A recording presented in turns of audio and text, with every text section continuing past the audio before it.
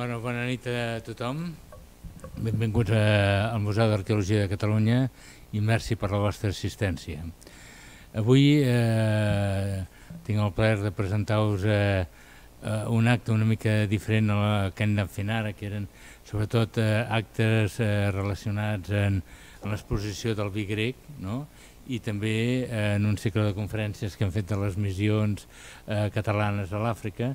Avui us presentem un llibre, i ens presentem un, un llibre de la Margarida Genera, i a més que tindrà la, la sort de tenir la presentació de la Victòria Solanilla. Per tant, jo crec que, eh, que és una bona celebració. El llibre, seguint la, la petja dels Ibers, una panoràmica del Camp de Tarragona i les Terres de l'Ebre. A veure, jo parlant de la Margarida, eh, sé que us puc dir que és una arqueòloga diguem, eh, diguem de la vieja usanza, i vull dir que en el bon sentit de la paraula, en quant que no és una persona, ara s'estila molt a l'arqueòleg superespecialitzat en, en un període, eh, no, més que un període superespecialitzat eh, en un aspecte concret, eh, la Margarida no és això, la Margarida és una persona que ha tocat tots els períodes, eh, i els ha tocat tots bé, el qual també és important, eh, jo la coneixia també per temes de paleolític, després la vaig conèixer per temes d'Ibers i ha anat tocant una mica tots els períodes. També sí que és cert que té una tendència eh, molt important per les terres de l'Ebre i les terres de, diguem, del sud de Tarragona, vull dir que, que això també és veritat, eh? però tampoc és això que la seva inquietud no es limita tampoc en aquesta zona. I després hi ha un altre aspecte que crec que és important de tota la seva trajectòria, que és que també ha tingut una, una inquietud eh, per, la, per la didàctica de l'arqueologia important que es transmet en tots els seus llibres. Això també és important. Per tant, aquí tenim eh, dos vessants de la Margarida, un que seria el vessant científic i educatiu, que crec que és important, i després l'altre vessant, eh, que és el de l'administració. Eh, I després aquí sí que és cert que la Margarida durant molt de temps ha estat eh, vinculada al Servei d'Arqueologia de Catalunya des de la seva fundació, primer com a territorial, no? si no me'n recordo, de les Terres de l'Ebre i després com a cap de secció, vull dir que també ha sigut una vinculació. I ara aquí també tenim la sort de tenir dos membres del Servei d'Arqueologia, eh, l'antic eh, cap del Servei d'Arqueologia, en Ramon Ten, i en Magí Miret, que també són membres i companys de la Margarida. Per tant, eh, i eh, també la meva coneixença amb ella m'ha fet que la presentació d'aquest acte tingui un atractiu especial. No? I per tant, l'altre dia que va, bueno, l'altre dia ja fa uns mesos que va venir i em van començar a parlar, em va semblar molt bona idea presentar aquest llibre, aquest llibre que ha dit a la Diputació de Tarragona, no? i que després en tot cas ella us dirà eh, quina és la manera d'adquirir-lo per qui no el tingui i estigui interessat. Per tant, eh, això per la part de la Margarida i després eh, per, part de, per part de la Victòria jo també crec que és important eh, la seva presència. Ella, com sabeu, és doctora en Història Antiga i Arqueologia, eh, doctora per la Universitat de Barcelona i és docent a Autònoma, a la Universitat Autònoma també és que la seva especialitat ha tocat també molt temes d'art, no? Eh? però bueno, hi ha, hi, ha, hi ha uns contactes eh, claríssims també i després jo crec que també hi ha un altre element que hem de destacar que ha sigut la seva trajectòria, la seva especialitat dins del món de, de l'art precolombí, dins del món precolombí en general. Per tant, jo crec que tenim dues persones que de ben segur eh, ens faran dues explicacions interessantíssimes i jo no em voldria allargar perquè el meu paper és senzillament de presentació prèvia per les ponències i per tant li demanaria a la Victòria Solanilla que comencés la seva intervenció. Victòria, com vulguis. Moltes gràcies. Bona nit a tothom i m'agraïs la seva presència i en primer lloc la, mm, convida, sí, quan l'autora em va convidar doncs, a fer aquesta presentació no cal que digui que em va fer molta il·lusió, ara comentaré per moltes coses i agraïm al Museu d'Arqueologia de, de, de Catalunya que ens recull aquesta nit. Ell comentava de que la doctora Genera toca, ha tocat diferents temes, doncs jo és el mateix, ho vam aprendre alhora. Eh? Teníem uns professors, ja en parlaré d'ells una miqueta més endavant, que ens van ensenyar que no era això sol, que era això, el del costat, l'altre, per entendre quin valor tenia. I ho hem practicat les dues. Tu et vas quedar doncs, a l'administració, jo estic a la universitat, però de fet aquestes ganes de ser didàctiques i d'aprendre i de comunicar-ho les hem tingut tothom, fa l'efecte a mi, que això és el bo. I jo és el que dic sempre als nois, de que mireu, oh, que aquest tema, si preu de saber més coses d'aquest tema. Per exemple, ell comentava que jo tinc una vessant de, o sigui, estic al departament d'art però estic fent tot el de món antic. Llavors estem en Mesopotàmia, amb Egipte, amb els íbers, amb, amb tot això, i sempre els hi vaig buscar en paral·lels entre una cosa i l'altra, que és el que veuran aquí en aquest petit eh, PowerPoint que he preparat. Llavors, vull dir, els dic amb això, penseu que no us heu de centrar només en el dic gros de l'escultura, de no sé què, no, vull dir, perquè li van fer d'aquesta manera i, bueno, doncs aquí anem a parar. I els dic, coneixement humanístic, ja en diuen, la madama humanística, perquè sempre dic el mateix, amb una paraula. Per tant, agrair doncs, aquesta convidada i doncs, poder estar aquí amb tots vostès. Jo crec que per fer una, una, una presentació aclaridora, sobretot d'un llibre, en aquest cas de, de, de que avui ens, ens implica, S'ha de tenir com, com a punt de partida l'explicació dels continguts, però evidentment això ho farà la seva autora, que és qui millor coneix el com i el perquè d'aquest llibre. Per tant, ja sé que ella doncs, agafarà aquesta vertent que jo la deixo aparcada en, en aquest sentit. I per tant a mi em pertoca explicar-los la utilitat, el per què i de quina manera s'ha fet segons la meva opinió. D'entrada, dir que la utilitat n'és molta, és molt gran, ja ho hem comentat, és un llibre idoni per a aquelles persones que tinguin inquietuds de conèixer el passat arqueològic de Catalunya i en concret de la vessant sud nostra, que són el Camp de Tarragona i les Terres de, de l'Ebre. I també per a les altres persones a les que tenim l'obligació, crec jo, de desvetllar aquestes inquietuds. Perquè vull dir, si som com una paret que no comuniquem, malament rai, per dir-ho d'alguna manera, a les quals encara no hi han arribat aquest coneixement i per tant amb llibres com aquest hi arribaran fàcilment. Sempre penso que el paper dels professors, en el meu cas, és principalment doble, que dèiem abans, l'ensenyança per una banda, però també la investigació. Jo no puc explicar el que sigui als nois quan, si no m'he preparat abans i ben preparat, mm, jo sempre dic, mireu, no els hi puc explicar el conte de la caputxeta, s'ha de fer una cosa ben feta, doncs això és, és el mateix. Eh? I en aquest cas, aquest llibre acompleix abastament aquestes dues, dues vertents, la de l'ensenyança i la de la investigació. Per tant, l'utilitat òptima, vull dir, moltíssima. Per què? Segons la meva opinió, doncs es va fer-se d'aquesta manera. Doncs mireu, perquè a Catalunya, des de fa més de 100 anys, i a partir de la feina feta per la Mancomunitat, i després que va prendre l'Escola Catalana d'Arqueologia, és on ja jo allà personalment hi vaig entrar de la mà dels meus primers professors que van ser el professor Joan Maloquer de Motes i el doctor Ripoll el doctor Pericot s'estava jubilant, el vam enganxar l'últim any i ens deia, ara em recordo, obri-me per on vulguin. I clar, quedaves així, pregunti'm el que els hi sembli que jo ja els hi contestaré. I realment ho feia.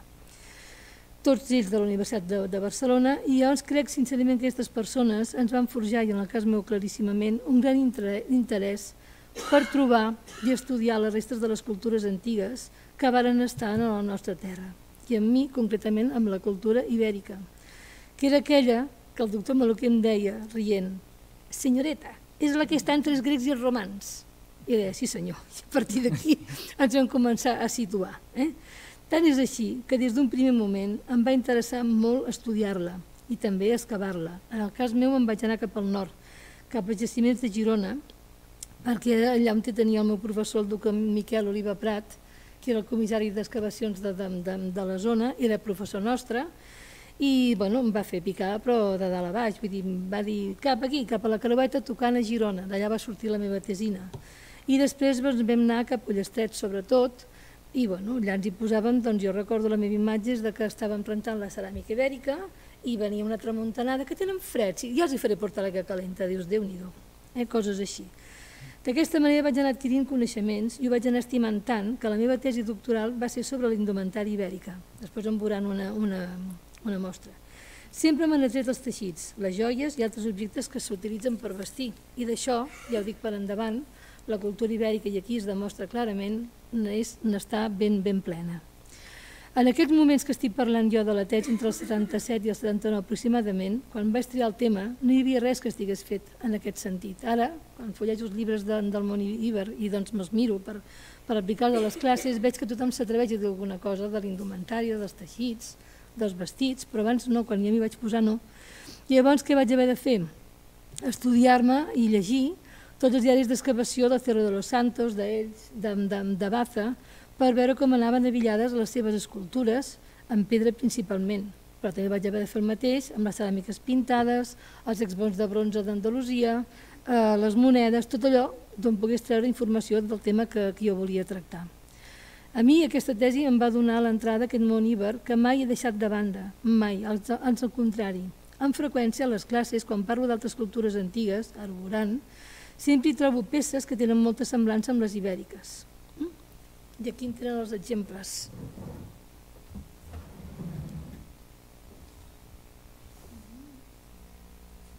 Aquesta figura és azteca. A veure què us sembla. Jo que la vaig allà vaig dir, mare de Déu, sistema...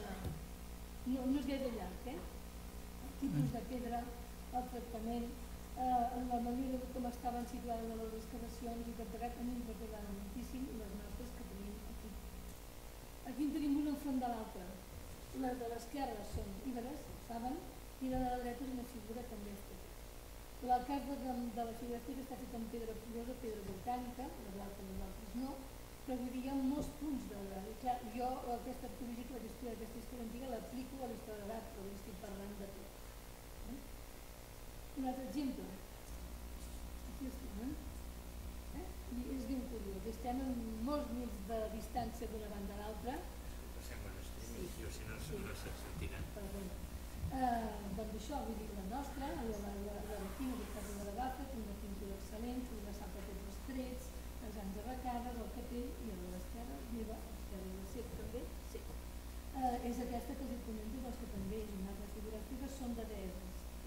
Per tant, aquí doncs, doncs, eh, buscaven la figura del bon en aquest sentit tan exclusiva i guarnir-la amb, amb tot això. Vaig seguir investigant, vaig seguir buscant i em vaig anar amb els bronzes, l'altre dia, ho estava veient, preparant tot això, i aquesta, el brot d'aquella publicació del Nicolí, de uh -huh. dels bronzes que està jo l'havia vist al dret i al revés, i després aquesta me l'estava buscant amb els, amb els, els tirants creuats. Aquí hi ha una fotografia d'una de les meves pàgines de la tesi de les il·lustracions. Aquí vaig ajuntar tot el que vaig trobar d'aquestes tires, la part de dalt són els bronzes,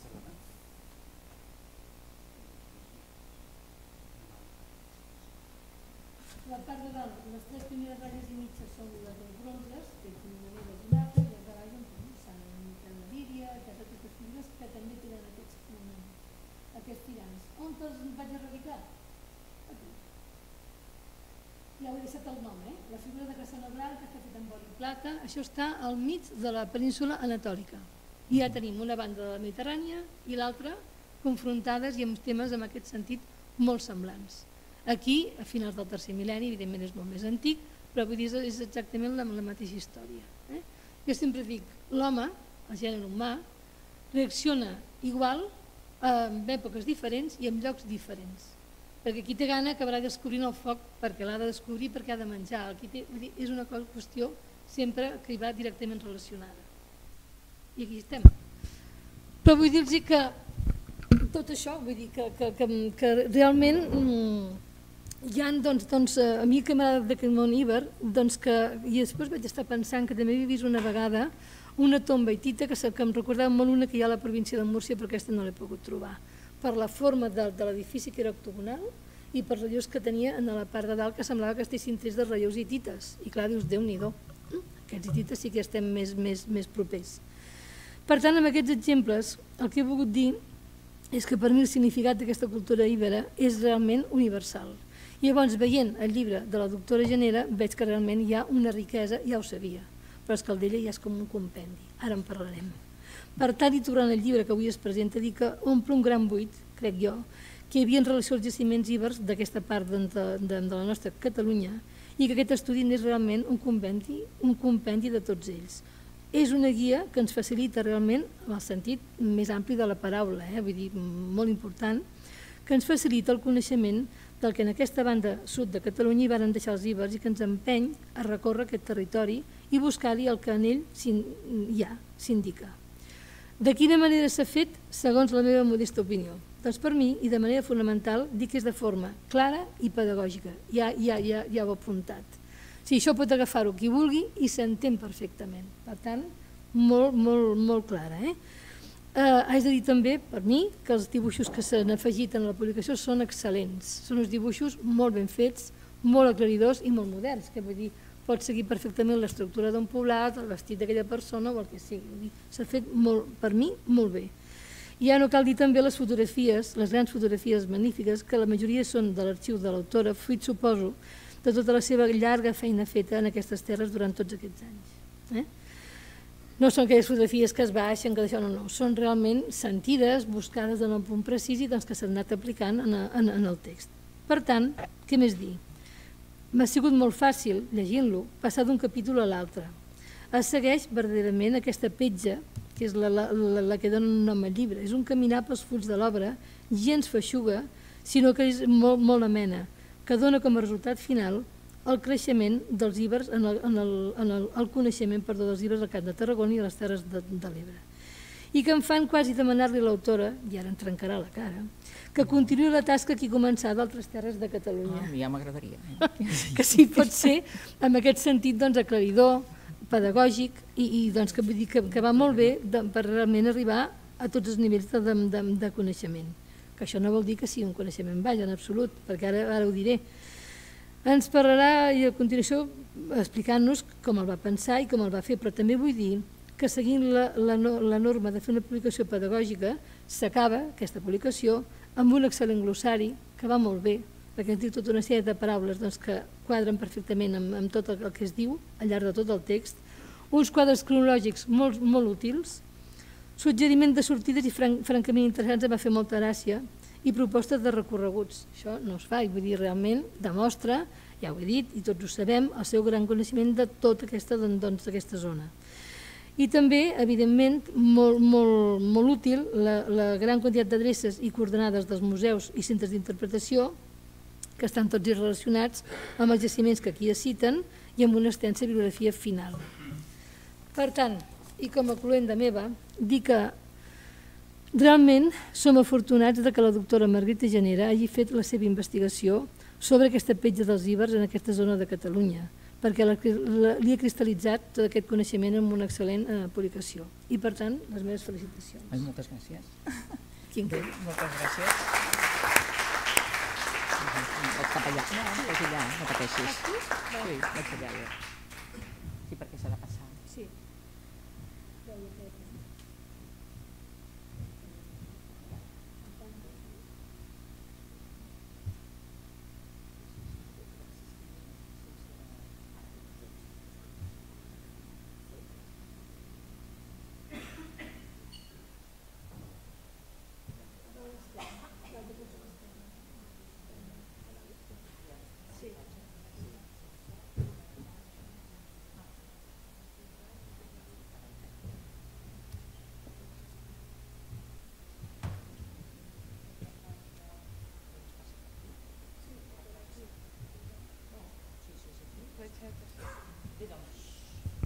Molt bona tarda a tothom i d'entrada moltíssimes gràcies, estimats amics. Uh, jo no faig masses protocols, però jo també dic que avui és un, un gran goig de ser aquí per presentar aquest llibre. Em sembla que l'última vegada que vaig seure aquí també era per presentar el llibre dels nostres orígens i la primera vegada a la vida que vaig presentar una comunicació en un congrés també va ser aquí, a l'any 75, en el primer congrés d'espeleologia que el remuntem crec que també presentava el treball de les pintures rupestres d'Ullacona. Va ser un gran congrés. O sigui que jo aquell dia em pensava que em desmaiaria, quan vaig haver d'agafar un taxi perquè no podia caminar, perquè pensava que em quedaria muda, que em quedaria, i va resultar que no em va passar res, sinó al contrari, m'ho vaig divertir tot. Avui és un gran plaer perquè realment aquest llibre, que també l'ha deixat la doctora Solanilla, moltes gràcies, que consti que no havíem parlat ni res, Eh, realment ha estat un llibre mm, bastant complicat. Eh, ja els dic d'entrada que el llibre que va ser el resultat de l'encàrrec té 900 pàgines i es va haver de reduir a gairebé 500 com és aquest, però aquest de 900 es publica mm, a part amb dos volums i serà digital. Només en tindrà algun exemplar en paper però serà digital i es, suposo que quan s'acabi aquest sortirà l'altre, però està acabat. O sigui, tenim un, dos volums més de llibres divers de Tarragona. Jo no és que vulgui donar explicacions del per què m'he dedicat a tot, ha estat la vida, perquè tenia claríssim de per què vaig ser prehistòria, perquè jo volia ser paleolitista i paleolitista del paleolític inferior. I per això vaig fer geologia, del quaternari a Bordeus, i vaig fer... però precisament l'atzar de la vida va ser que vaig fer la tesi a les Terres de l'Ebre, perquè fos un riu i pogués de Catalunya i que fos una àrea geogràfica amb una personalitat pròpia, perquè la prehistòria no s'ha d'explicar en províncies, el llibre aquest és una província, eh? ja els aviso, i alhora el pogués escriure en català, perquè jo d'origen feia la tesi del Manzanares, i evidentment en català no la podia escriure. O sigui que vaig abandonar la primera tesi per passar a Catalunya amb conviccions. Va ser les Terres de l'Ebre que me'n vaig enamorar i que he continuat fins ara i penso continuar fins que no pugui més, evidentment.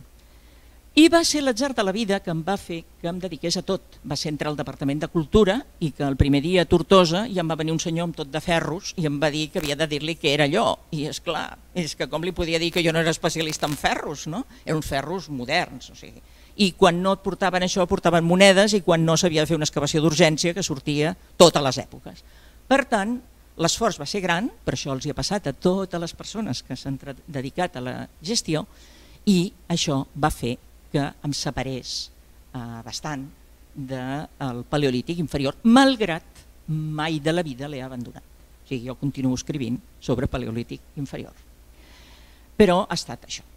L'encàrrec aquest, els haig de dir que és el segon llibre que m'encarreguen, perquè el primer va ser un que va ser de prehistòria amb el doctor Tarradell, la Núria Rafel, la, la Núria Tarradell i la Marta Prebosti, i vaig fer la primera part, els quadres cronològics del Paleolític, i el primer capítol era just el capítol que es deia com es diu l'exposició de eh, la prehistòria de l'Àfrica que en aquests moments hi ha a la Caixa Fòrum. O sigui, l'Àfrica bueno, bressol de la humanitat. O sigui que aquell va ser el primer. I aquest, a ah, Cosmo Caixa, perdó. Sí, jo sempre m'equivoco amb el Cosmo Caixa i la Caixa Fòrum, és igual. No, no és igual, però això. Bé, aleshores em van encarregar aquest llibre i em van encarregar un llibre i jo vaig dir, bueno, volien 150 pàgines de la província de Tarragona, cosa que no, fa, no és gens fàcil explicar els hiverns dintre d'una província. Eh, en els últims temps sí, perquè els romans vencen i marquen un territori, però clar, no coincideix amb l'actual província de Tarragona. I aleshores vam començar a buscar estratègies per poder explicar bé els hiverns inquirits dintre d'una província. Però realment sí que se'm donava llibertat per fer un llibre com em semblés. I la veritat és que a mi sempre m'han agradat els llibres que arribin a tothom, els llibres que serveixin per estudiar, per llegir, per documentar-se, per mirar-los, per consultar, per fer doncs, un estudi de conjunt i amb una cop d'ull copsar-ne l'essència. I és el que ens hem esforçat en arribar-lo a fer. Sí que moltes fotografies són meves de l'arxiu, o fetes meves o no, però també he comptat amb grans fotògrafs com el Ramon Cornador, l'Arcadi Pilella, i algunes persones que m'han deixat fotografies de les seves excavacions, que després consten absolutament i rigorosament tots, els museus m'han obert les portes per deixar fer aquestes fotografies, per consultar i per fer, a les gràcies a tothom. Un dibuixant magnífic que va dir que vindria, però que vindria cap al final, però bé, ja ho dic ara, el Francesc Riart, perquè no solament és un gran dibuixant, sinó que és un gran home, és un humà amb tota la sensibilitat imprescindible per poder fer aquests dibuixos que impregnen d'humanitat les il·lustracions. Unes dissenyadores, una dissenyadora jove i animosa que es va entusiasmar amb el llibre, l'Anna Gómez, una correctora de català que ens discutíem i tal, però arribàvem a fer, i unes persones amb una gran paciència, que és tota la Diputació, amb president, el propi president de la Diputació, que han consentit doncs, que ens allarguéssim, que allarguéssim les pàgines, que hi poséssim més colors i féssim tot això. Vull expressar el meu profund agraïment a tothom. O un Magí Miret, que com sempre doncs, ajuda portant bibliografia i tot. Tothom ha col·laborat. O sigui, o també el Xavier Llobera, que va obrir les vitrines i també va ajudar a treure les peces i tot. I vosaltres, que m'heu encoratjat a que continués i que avui doncs, sigui una bona presentació. Doncs hem dit, era un llibre amb molts vessants. Aquest llibre consta de quatre parts. Una primera que tracta doncs, dels hiverns i parla de la seva, perdó, era aquell el meu, bueno, és igual, de la seva personalitat pròpia i com es va configurant aquesta personalitat. Els hiverns que no van ser mai una societat absolutament eh, homogènia. Uns grups diferents, amb una, amb una identitat pròpia i que la mantenen en, en els territoris i al llarg dels segles. I vam veient com van evolucionar.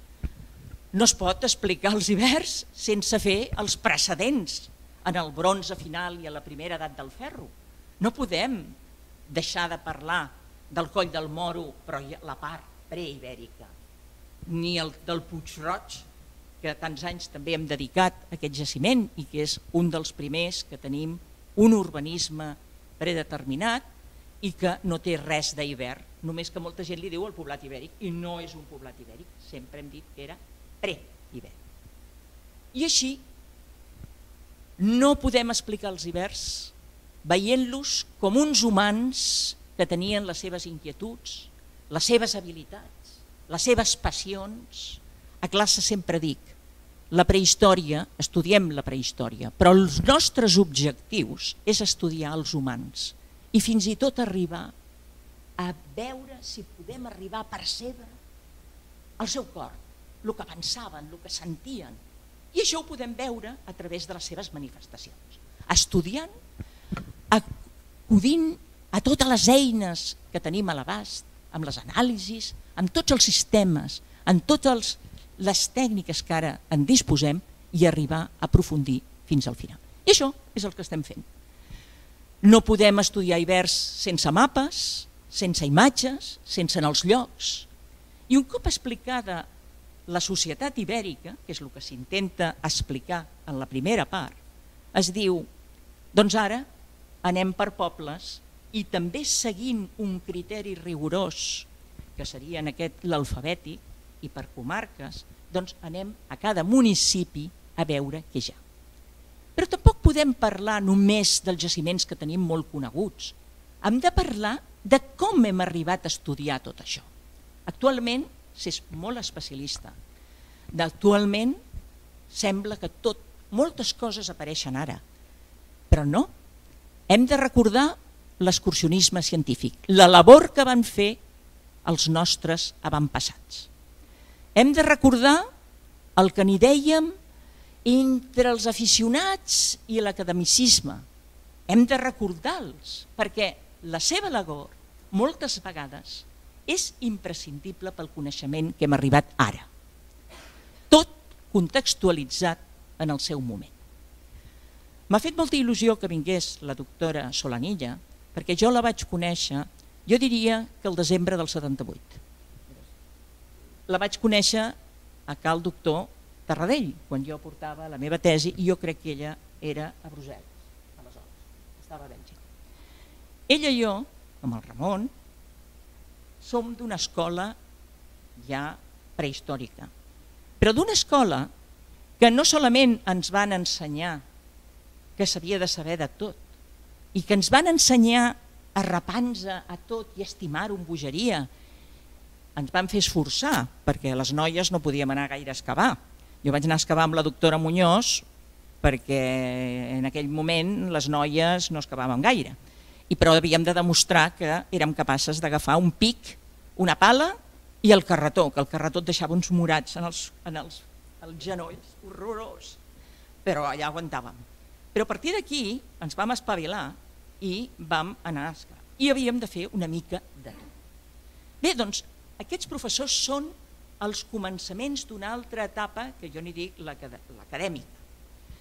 I ells van ser els que van preveure la reunió, el, la, diguem-ne, la captació dels cervells i del coneixement de tots aquests aficionats que no havien estudiat arqueologia amb el diploma d'arqueologia hispànica. I és per això que va ser un canvi ja. I a mi m'agrada tant recordar a totes aquestes persones que, de fet, van començar a configurar els museus i el coneixement de molts dels jaciments. I per això veuran alguns retalls de diari, perquè sí, dic que moltes fotos són d'arxiu, però altres són d'arxius de diaris i tot, perquè un cap clavat per Tarragona, que aquest és inèdit i està en un diari, que va aparèixer per les comarques tarragonines, que es va destruir després i fotografies doncs, del Serra Vilaró i d'així, però antigues. I finalment, les excavacions d'urgència. Sigui el final que sigui, les excavacions d'urgència, després preventives i altres, doncs també han aportat moltíssima informació. Per tant, és la recopilació de totes aquestes dades.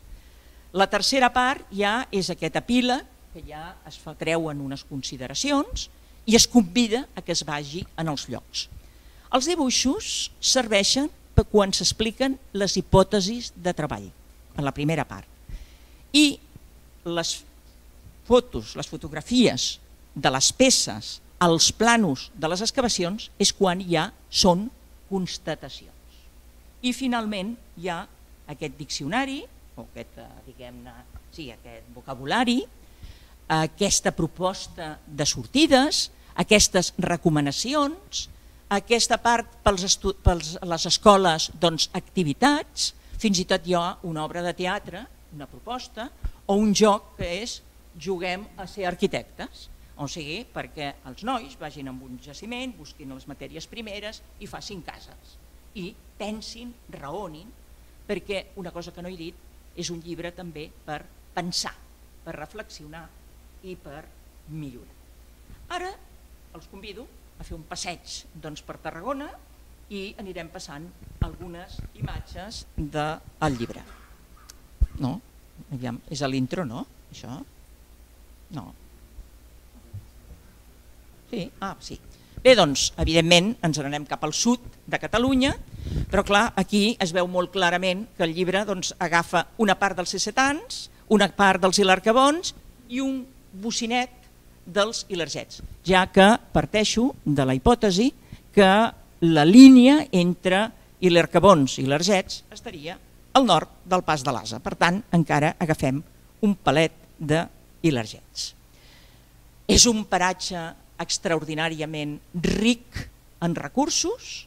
Tenim la Mediterrània, eh, la vista superior és el que per mi és el perfil nord de la Ilercabònia estem veient al fons, veiem el Montsià i per mi seria just l'entrada cap als Ilercabons. Tenim aigua molls, tenim el delta, tenim la costa, tenim muntanyes de certa altitud a la Terra Alta, tenim l'artèria blava, com deia Soler Sabarís, que travessa al sud de Catalunya amb totes les seves branques i es ramifica per aquestes terres, donant vida, però sobretot ser un camí de pobles, de persones i per tant d'idees. I per tant aquestes idees, aquestes cultures, doncs dona una riquesa encara més gran. Tenim cavitats, tenim la cova de les Meravelles, tenim la cova de la Font Major i també tenim la del Romeu, eh, que bueno, n'hi ha moltíssimes més, ha, però totes les presento perquè han estat jaciments arqueològics importants. Tenim fonts, la font mm, de, de com es diu, la, la, la Francolí, sí, però es diu la, la Font Major, acabo de dir la cova i ara no em sortia, amb el naixement del riu Francolí, que ja saben que és el riu que va desembocar a Tarragona i per tant és una altra via eh, de penetració i de circulació de pobles, la Panarea al Parelló, Eh, hi ha llacs subterranis a Tarragona, eh, tenim ara assuts, però quan no hi havia assuts eh, teníem una, un riu doncs, que la pesca era molt gran. Tenim mines, les mines del Priorat, aquí tenim una imatge de eh, les mines de Bellmunt i alguns dels seus minerals. Aquests és la galena, que veurem que té un gran valor per a aquestes cultures. Aquí tenim un cossi de plom del Museu de Reus i unes glandes també en aquest museu. Aquí un petit mapa que recull els diferents jaciments, amb un mapa molt esquemàtic, on diferenciem les necròpolis, els poblats, els llocs de culte i els espais de producció, els espais eh, artesanals. Com no, referint-nos als jaciments, doncs el del Puig Roig, que aquí el poden veure, doncs, que és un dels jaciments que ja he dit abans, en què tenim documentat doncs, un urbanisme preibèric, però a més a més del que, dels primers que vam tenir la planta completa.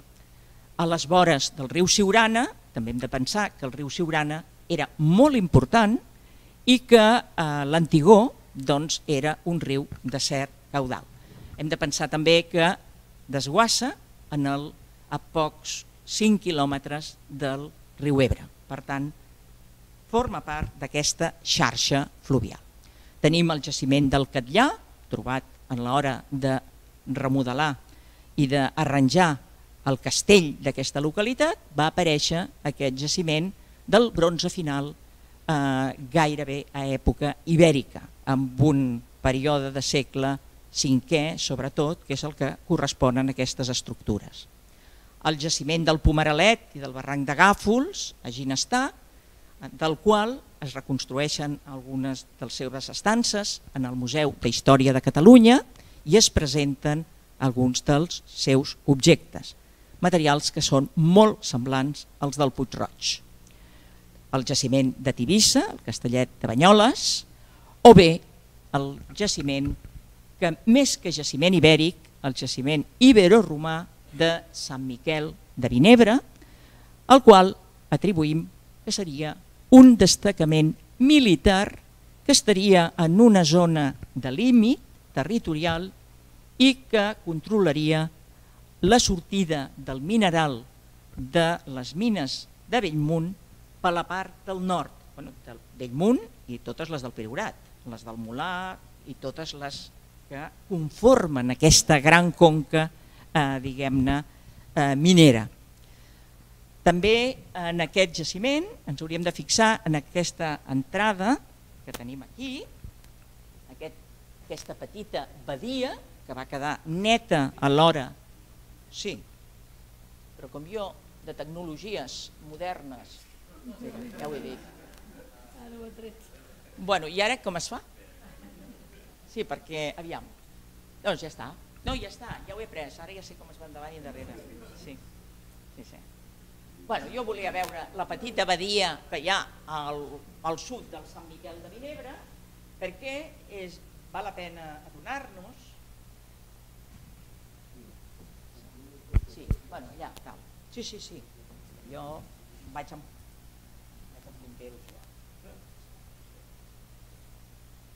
Aquí hem de dir que el treballar de manera continuada en el mateix lloc ens fa conèixer una mica més no, el territori.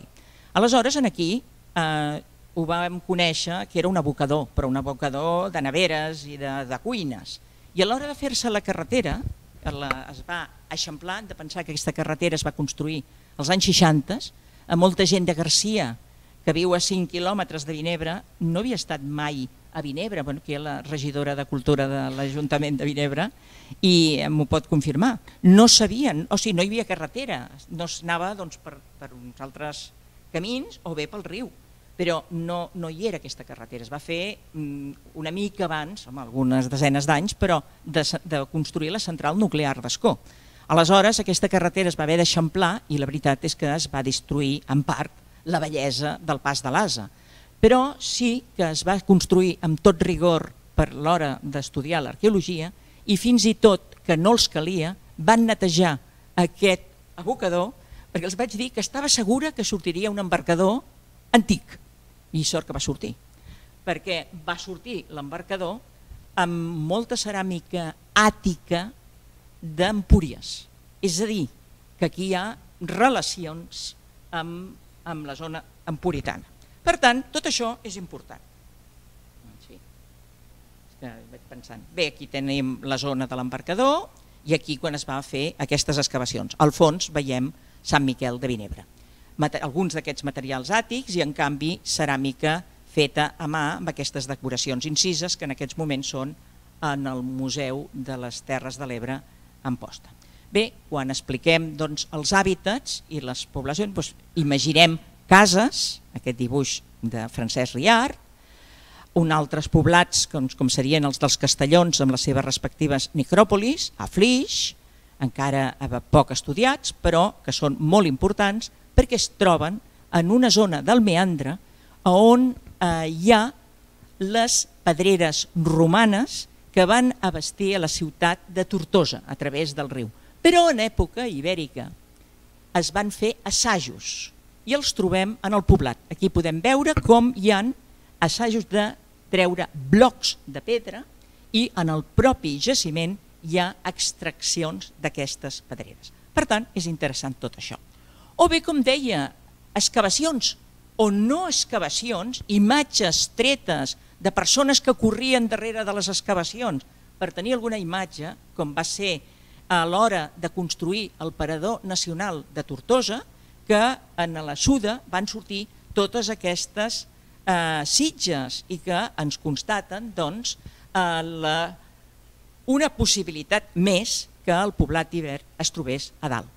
O bé les excavacions de les guàrdies de, en la, en el, a sota l'autopista, quan es va construir la Pau Casals, i que es va poder conservar eh, d'aquesta manera, però conservar un habitatge ibèric. A l'hora de fer urbanitzacions eh, a la zona del Catllà, doncs també aquest poblat que s'ha quedat d'aquesta manera, però que tenim documentació d'aquesta, o bé materials com poden ser els del Coll del Moro, que es troben en el Museu de Tarragona, o les ceràmiques amb aquesta il·lustració de Francesc Riart, o aquest conjunt que podem veure els materials en aquest mateix museu, que són ceràmiques provinents del forn de Fons Caldes, que va ser excavat a començaments del segle passat i que durant molts anys ha estat un dels forns més emblemàtics Mm, de l'antiguitat. Sembla que cada cop podria ser un pèl més modern, però sí va ser el forn que va produir aquestes ceràmiques de Caldes i que trobem documentades amb un radi d'expansió molt gran.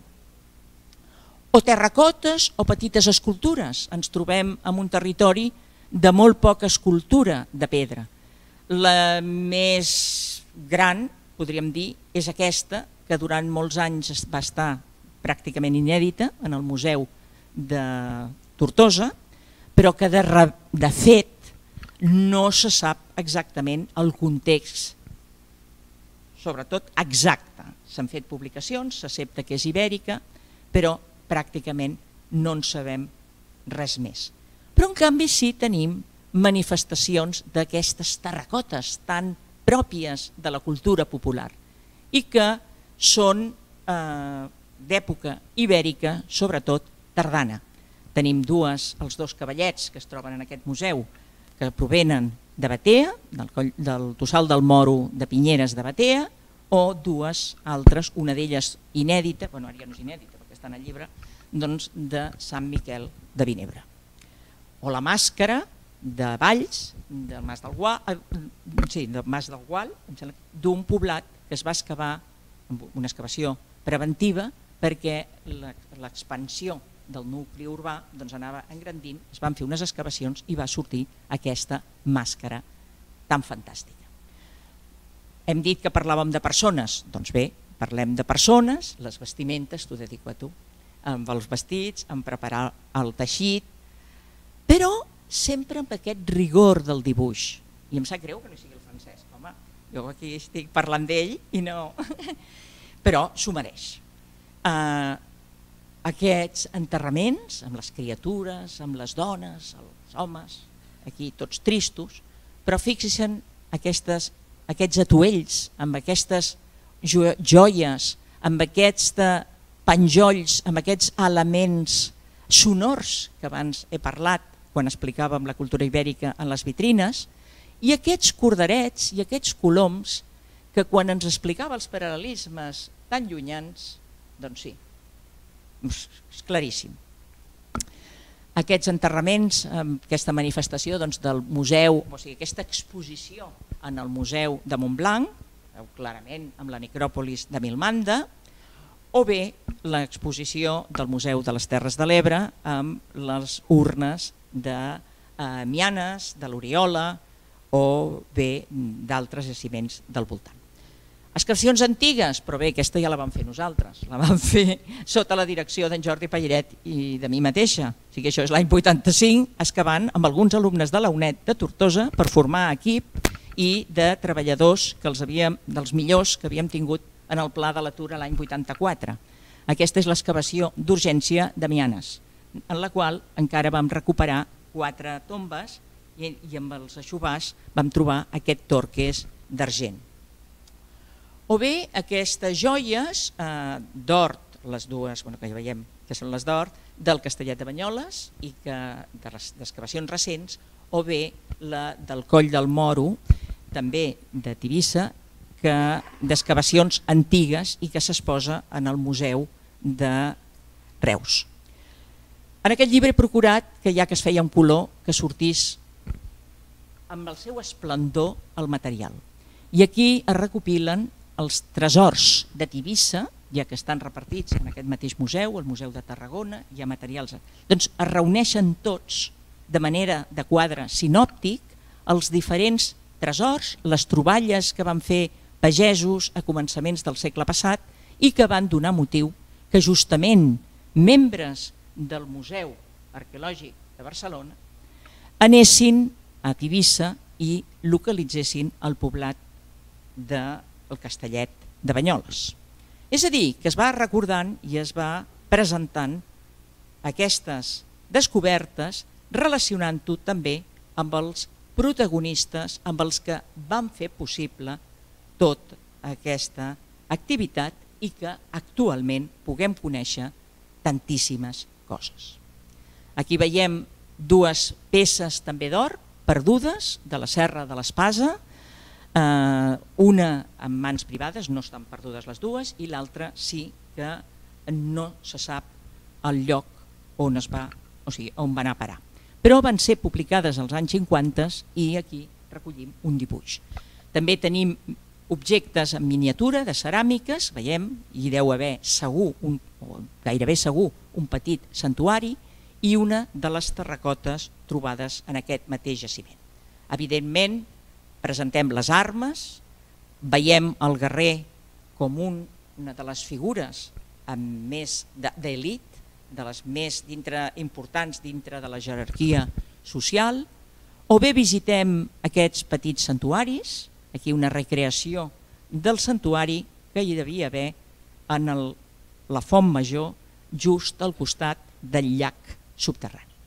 O bé una aproximació a la música, ara provocada per les campanetes que anem trobant i que a través de l'arqueologia experimental recuperem els seus sons, o bé l'escriptura, la moneda, i acabem amb aquesta representació d'uns grafits i vers en un capitell ja romà.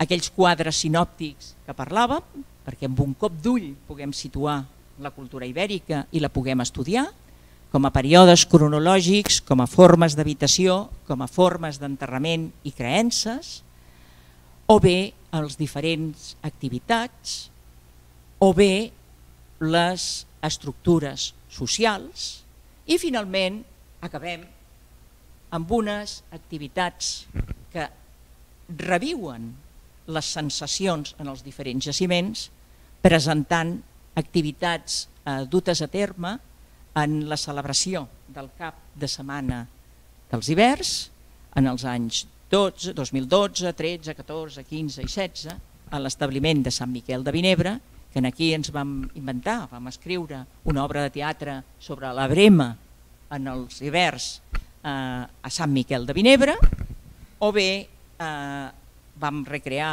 la música fent instruments musicals i fent un petit concert, o pintant uns càlatos explicant què és la ceràmica ibèrica i pintant-los amb òxid de ferro, com aquí veuen, i posant-hi la firma amb signes ibers.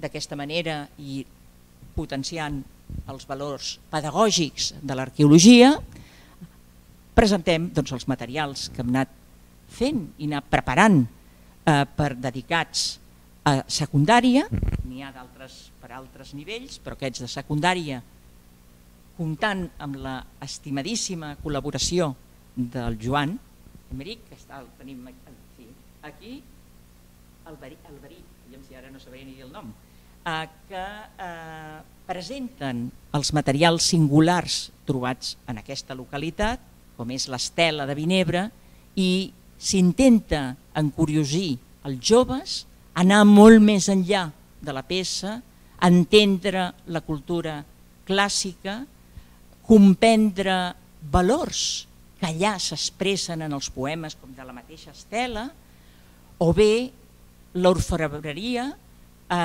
instar, impulsar la creativitat dels nois que intentin fer manualitats i crear joies que no tenen que tenir per res el valor d'un determinat metall, sinó el valor artístic i sentimental que pugui tenir. O el so de les campanetes de Vinebre. I penso que amb tot això puc acabar recordant doncs, les persones que han fet possible aquest llibre i agraint a tots vostès a la seva presència i la seva contribució. De tot cor.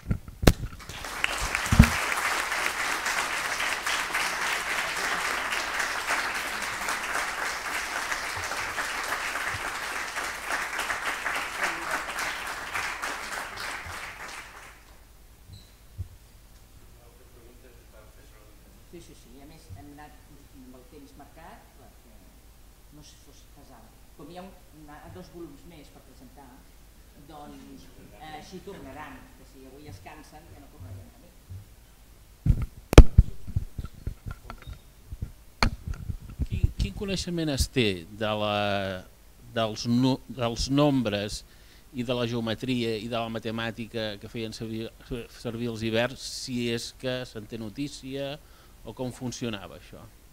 Jo,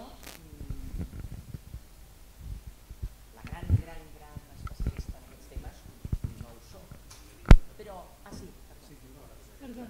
Sí, però tota la modèstia i la humilitat que, que requereix. Li haig de dir que quan un va estudiant, pem, pem, estudiant, estudiant, estudiant, te'n vas adonant de coses.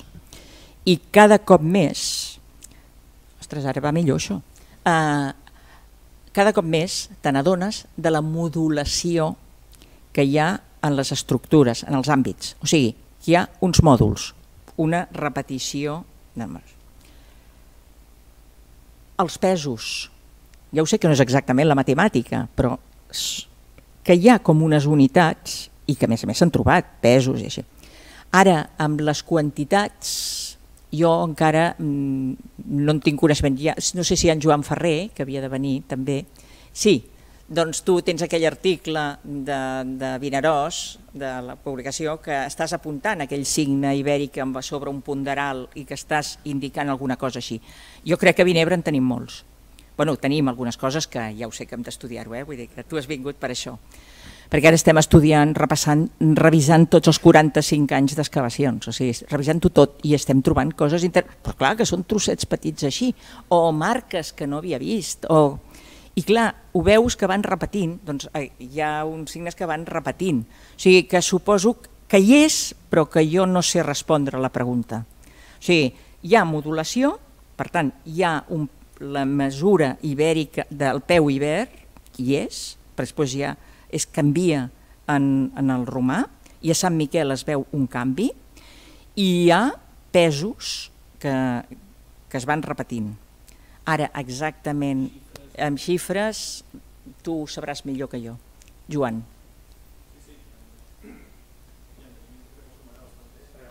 En els ponderals, sí. Bueno, perdona, eh? és que ja li ha passat la... És que...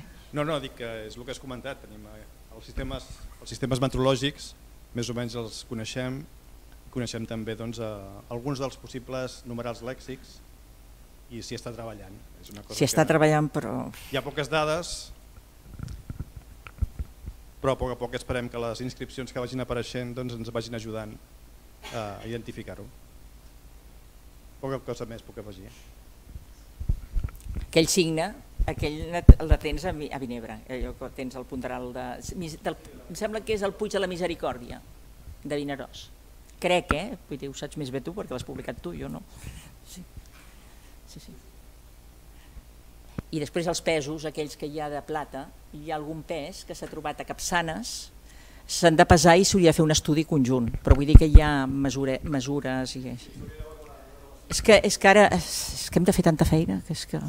Sí. Què? No, no, és que més... Sí. És que si mirant els ossos crec que estem sortint flautes. Però clar, són trossets, però són polits expressament per dintre, hi ha el forat... Vull dir que, és clar, ara després mirarem de reconstruir els sons i a veure si trobem un so mmm, que repeteixi entre el món dels hiverns, vull dir que sigui un so que tingui una, un, una simbologia, un, que sigui un senyal d'alguna cosa, vull dir, com toquen ara... Bueno, més preguntes? Sí, que hi havia un noi sí. que havia aixecat la mà. Sí, eh, la doctora Genera ha dit Ai, que, ha, eh, ha dit que la, la cultura ibèrica no és gens homogènia i... Bueno, aviam, no és una estructura, però bueno, sí, digues, digues. sí, no, no, que m'agradaria eh, si, eh, si la, la doctora Genera eh, eh, podria eh, eh, donar uns, uns, uns trets que, fos, eh, que fossin especialment característics de, de diferenciació entre, per exemple, entre, entre, els, entre els, els grups ibers del sud de Catalunya i del nord de Catalunya o, del, de, o dels, dels, dels grups de, de, de la zona nord mm, de, de l'àrea ibèrica, és a dir, de, de Catalunya o nord del País de València, eh, respecte al, als, de, als del sud-est de la península ibèrica i enllaçant amb això, si no és massa de, demanar, eh, si ella pensa que la cultura ibèrica com, com, a, com a global, com a tot, té un, un únic punt focal mm, d'origen o diversos punts que d'alguna manera van, van, van confluint i van, i van amalgamant-se. No et passis, eh? També, eh? eh així, pitjor que si estigués en una oposició, caram. Aviam, eh, sostinc que som diferents, tots són diferents. Aviam, jo penso, i aquí el Magí també és, és, ell és especialista en univers, vull dir, no sé, pot corregir-me i tota la gent que en sigui, eh, són diferents. Jo penso que els Ilarcabons, si comparats amb els tordetans, doncs són molt diferents. Vull dir que els espais de, de culte, les pròpies ceràmiques, el, el que passa és que eh, aviam, les del nord de Catalunya jo penso que tenen una, un pes més gran la, la part, diguem-ne, la influència helènica, o sigui, un pes enormement més gran. O sigui, eh, tenim temples, tenim eh, una ceràmica molt, molt més diversificada. Aquí en aquestes comarques trobo jo que hi ha una perduració molt gran de l'indigenisme. O sigui, és, aquí hi ha més una marca de molt més senzill, molt més eh, casolà, molt més...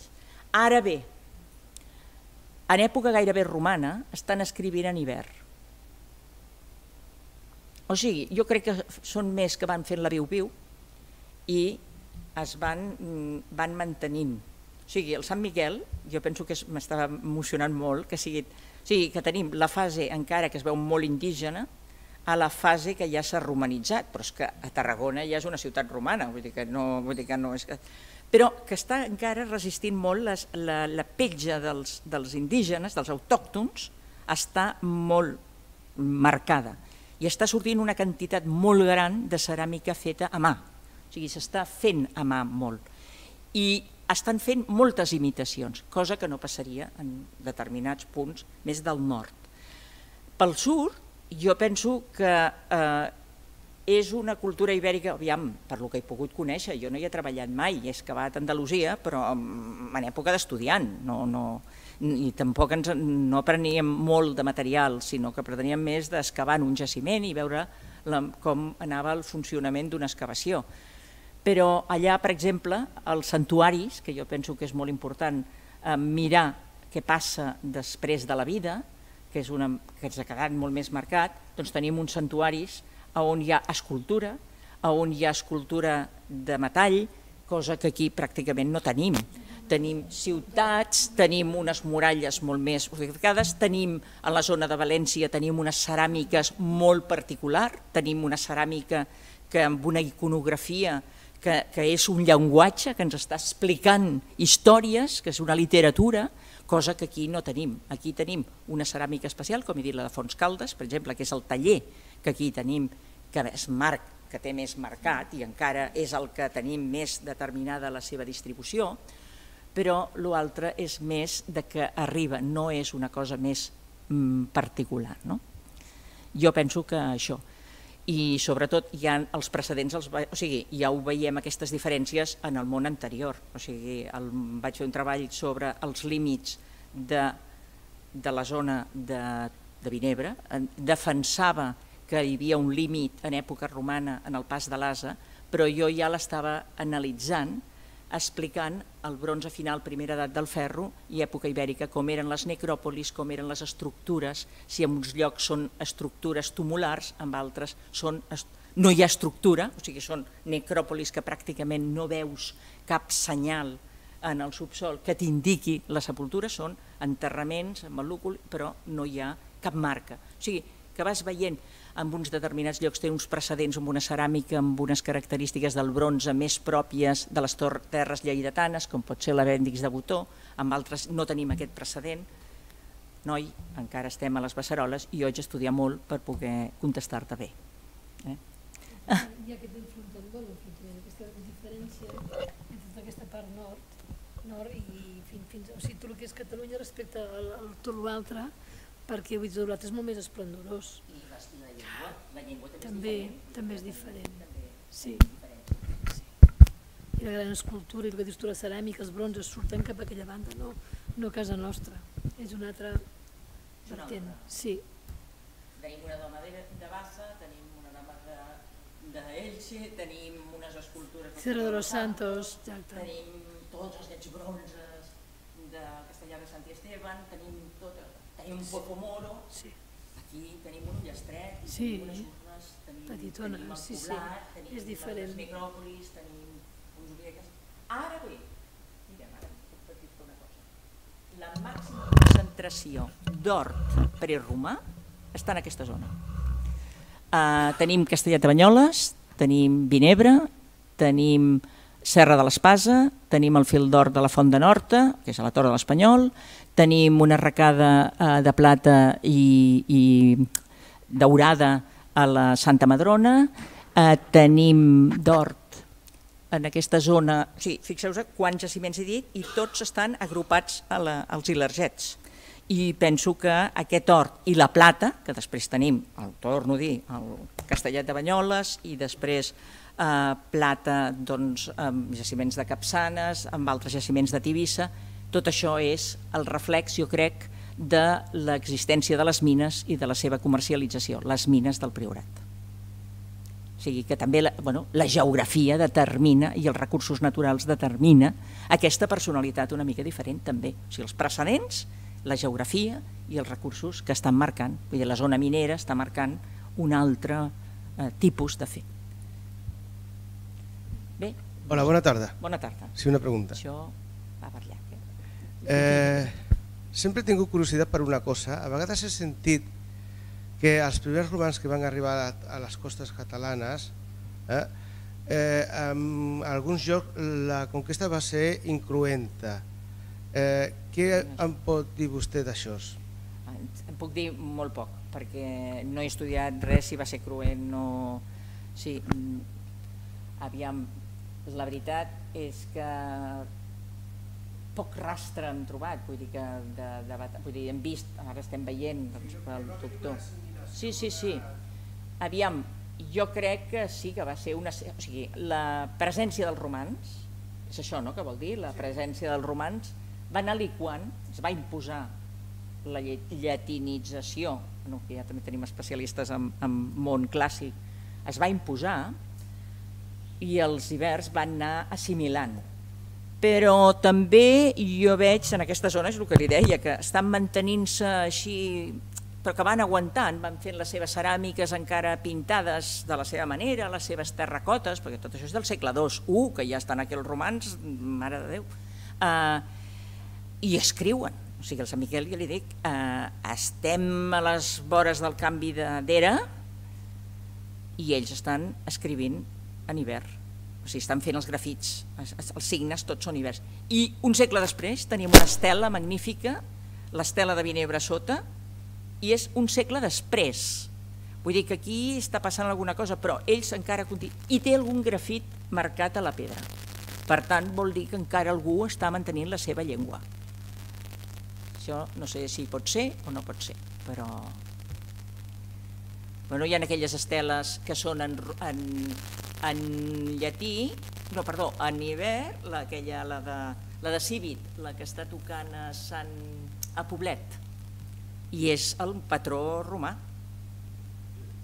Com? També la poso aquí perquè clar, està just al límit amb Lleida, però és Tarragona. Per tant, i estan mantenint, o sigui, jo crec que van aguantant. Fins a quin punt no ho sé. Eh, és que als pobles d'aquí els interessava també molt eh, els avanços dels romans, no? i va, va ser com com una integració, no sé, en, ser, en, ser, mm, en certa manera, no sé.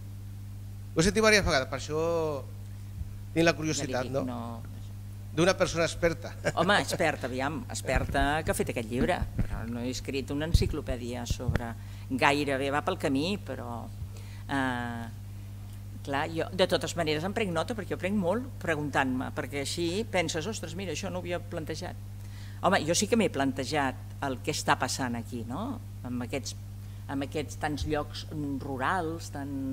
i també hi ha llocs que tampoc hi trobes tanta destrucció, o sigui que de fet, no, ja li dic, no tinc arguments com per poder prendre una posició ben predeterminada. Bé, doncs una altra.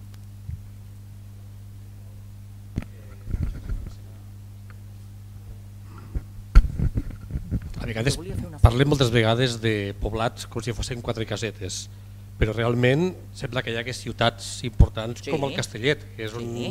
és una potència prou important, o per exemple a Amposta, que hi havia l'antiga Ibera, o a dalt al castell de, la Seu de Tortosa. Hi ha espais que no són poblats com quatre casetes i a vegades parlem molt de poblats. Això potser suposo que és un corrent que igual podria canviar-se a poc a poc. No, no, és que ja està canviat no, no s'ha de canviar, es canvia, vull dir, hi ha les grans ciutats, les grans capitals, hi han ciutats mitjanes, hi han petits vilatges, hi ha els, les casetes de camperols i hi ha senzillament coberts. Jo clar, vaig traient llocs que conec perquè he estat excavant i els, hi ha llocs que només hi ha coberts i devien estar amb cabanes però que tenen un cobert amb, amb, amb, amb llocs de magatzematge, Sabiques, per exemple. No, no, aquesta estructura. Ara, de grans ciutats, segurament que és Quese, o sigui, la, a Tarragona, en la zona de la... Ja no he tocat res.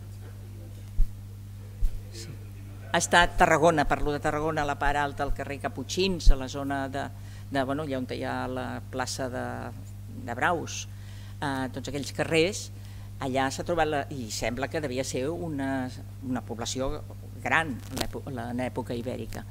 La de Tortosa encara la desconeixem molt, continua sent, malgrat les noves descobertes i tot, continua sent la gran desconeguda. Ara bé, havia de ser un establiment amb un gran potencial comercial, només per la seva posició estratègica, doncs devia ser, però encara no hem trobat aquesta gran ciutat o gran, aquesta població ibèrica. En posta, les descobertes són molt importants, però estan sota el castell i, i pels carrers, però tampoc s'ha trobat...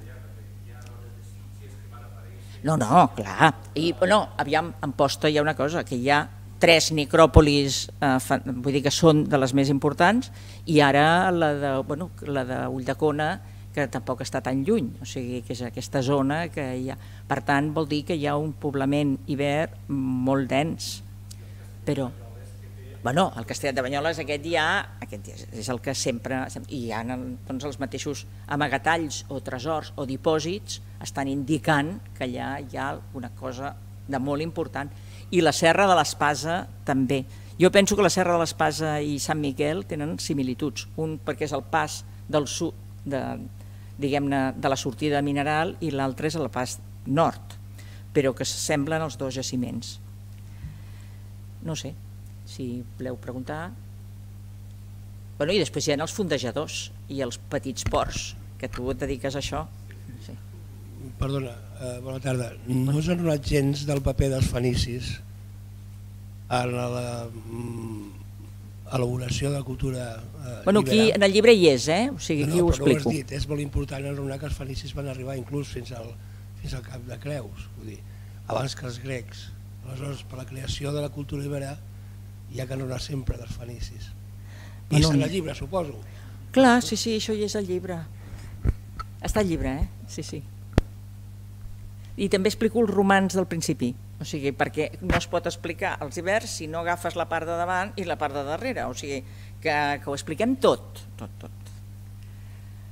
Segur que hi ha errades, eh? segur que n'hi ha alguna, però vull dir que en principi doncs, s'ha tingut en consideració tot això.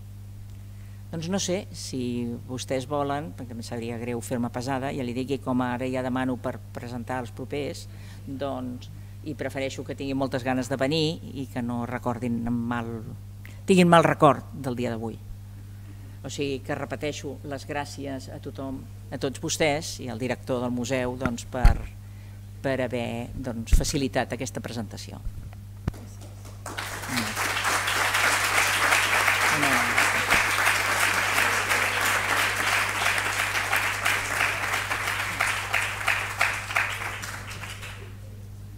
una foto, però... Jo volia fer una foto des d'aquí, però és igual. Què? Sí, espera. Sí, sí, el que passa és que jo estic buscant. Ah, ah és això. Ara he descobert.